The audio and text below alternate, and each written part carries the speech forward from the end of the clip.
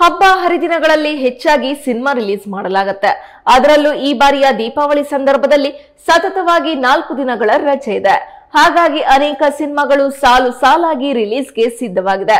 ಪಟಾಕಿ ಹಬ್ಬಕ್ಕೆ ಈ ವರ್ಷ ಚಿತ್ರಮಂದಿರಗಳಲ್ಲಿ ಸಿನಿಮಾಗಳು ಸದ್ದು ಮಾಡಲಿವೆ. ದೀಪಾವಳಿಗೆ ಅತ್ತ ಬಾಲಿವುಡ್, ಇತ್ತ ಸೌತ್ ಸಿನಿ ದುನಿಯಾದಲ್ಲಿ ಸಿನಿಮೋತ್ಸವ ಕಳೆ ಕಟ್ಟುತ್ತೆ. ಈ ಬಾರಿಯೂ ಅಂತಹದ್ದೇ ಸಡಗರ ಕಂಡು ಬರ್ತಿದೆ. ಸಾಮಾನ್ಯವಾಗಿ ತಮಿಳು ಚಿತ್ರರಂಗದಲ್ಲಿ ದೀಪಾವಳಿಗೆ ದೊಡ್ಡ ಸಿನಿಮಾಗಳು ತೆರೆಗೆ ಬರ್ತಿದ್ವು. ಆದರೆ ಈ ಬಾರಿ ರಜನಿಕಾಂತ್ ಹಾಗೂ ದಳಪತಿ ವಿಜಯ್ ನಟಿಸಿದ ಚಿತ್ರಗಳು ತೆರೆಗೆ ಬಂದಿವೆ. ಸೂರ್ಯ ನಟನೆಯ ಕಂಗುಬ ನವೆಂಬರ್ ಹದಿನೈದಕ್ಕೆ ಬರಲಿದೆ. ಇನ್ನುಳಿದಂತೆ ಚಿತ್ರಗಳು ಈ ವಾರ ಪ್ರೇಕ್ಷಕರ ಮುಂದೆ ಬರ್ತಾ ಇದ್ದು ಜೀಬ್ರಾ ರಿಲೀಸ್ ದಿನಾಂಕವನ್ನ ಮುಂದೂಡಲಾಗಿದೆ. ಅತ್ತ ಬಾಲಿವುಡ್ನಲ್ಲಿ ಎರಡು ಸೀಕ್ವೆಲ್ ಚಿತ್ರಗಳ ನಡುವೆ ದೀಪಾವಳಿ ಬಾಕ್ಸ್ ಆಫೀಸ್ ಫೈಟ್ ನಡೆಯಲಿದೆ. ಎರಡು ಕೂಡ ಮಲ್ಟಿ ಸ್ಟಾರರ್ ಚಿತ್ರಗಳೇ ಅನ್ನೋದು ವಿಶೇಷ. ಮೊದಲಿಗೆ ಭಗೀರ. ಕನ್ನಡದಲ್ಲಿ ಶ್ರೀ ಮುರಳಿ ನಟನೆಯ ಭಗೀರ ಸಿನಿಮಾ ಅಕ್ಟೋಬರ್ ಮೂವತ್ತೊಂದಕ್ಕೆ ತೆರೆಗೆ ಬರ್ತಿದೆ ಪ್ರಶಾಂತ್ ನೀಲ್ ಚಿತ್ರಕ್ಕೆ ಕತೆ ಬರೆದಿದ್ದು ಡಾಕ್ಟರ್ ಸೂರಿ ಆಕ್ಷನ್ ಕಟ್ ಹೇಳಿದ್ದಾರೆ. ಈಗಾಗಲೇ ಚಿತ್ರದ ಟ್ರೇಲರ್ ಹಾಗೂ ಸಾಂಗ್ಸ್ ರಿಲೀಸ್ ಆಗಿ ಸದ್ದು ಮಾಡ್ತಿದೆ. ಚಿತ್ರದಲ್ಲಿ ರುಕ್ಮಿಣಿ ವಸಂತ್ ನಾಯಕಿಯಾಗಿ ಮಿಂಚಿದ್ದಾರೆ. ಹೊಂಬಾಳೆ ಫಿಲಂ ಸಂಸ್ಥೆ ಅದ್ದೂರಿಯಾಗಿ ಸಿನಿಮಾ ನಿರ್ಮಾಣ ಮಾಡಿದೆ.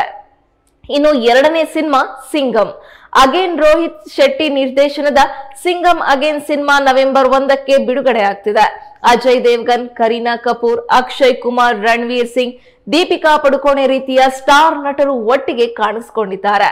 ಹೈ ವೋಲ್ಟೇಜ್ ಪೊಲೀಸ್ ಡ್ರಾಮಾ ಚಿತ್ರಕ್ಕೆ ರವಿ ಬಸೂರು ಮ್ಯೂಸಿಕ್ ಕಂಪೋಸ್ ಮಾಡಿದ್ದಾರೆ. ಇನ್ನು ಮೂರನೇ ಸಿನಿಮಾ ಭೂಲ್ ಭುಲಯ್ಯ ತ್ರೀ.